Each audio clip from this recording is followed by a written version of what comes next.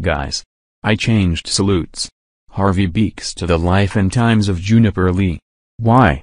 Because I'm too busy to do Harvey Beaks salute. Enjoy. The life and times of Juniper Lee. Wow. This show rocks. This show is about two humans. Including a dog named Monroe. And they like to go on great adventures together. Juniper is awesome.